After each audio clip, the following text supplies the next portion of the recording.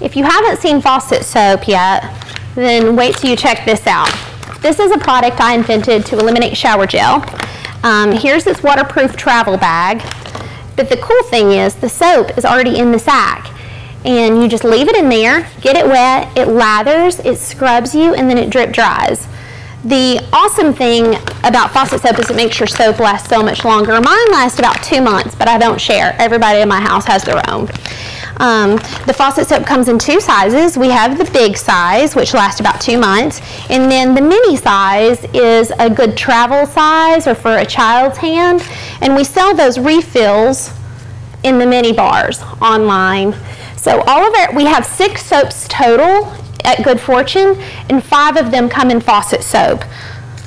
So we have the grapefruit orange, the apple lavender, the sweet spice, the peppermint tea tree, and the sandalwood lavender. These are the faucet soaps, and these are the refills. Quickly, I'll tell you, I'll describe them to you so you can get a sense for what they smell like. Grapefruit orange is really fresh and citrusy and clean.